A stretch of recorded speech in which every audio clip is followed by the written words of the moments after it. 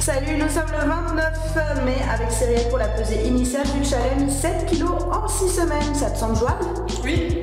Parfait, je te laisse monter sur la balance. 144 kg. Salut, nous sommes le 12 juillet avec Cyril pour la pesée finale du challenge 7 kg en 6 semaines. Ton poids initial est de 142 kg, tu dois donc être à 135 kg. Ça te semble jouable? Je te laisse monter sur la balance. 134.